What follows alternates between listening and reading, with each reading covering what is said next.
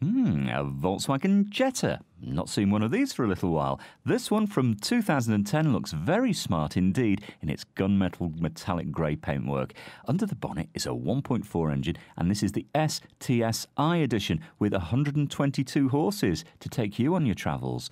Smart looking car. Inside, you've got a cloth interior. It's got alloys, they're very nice alloys, them. And all round airbags. You've got aircon and a CD player too. Now, the running costs, not bad at all. You'll get a combined 44 miles per gallon. And 12 months road tax is just over £150. Smart looking car. At Fords of Winsford.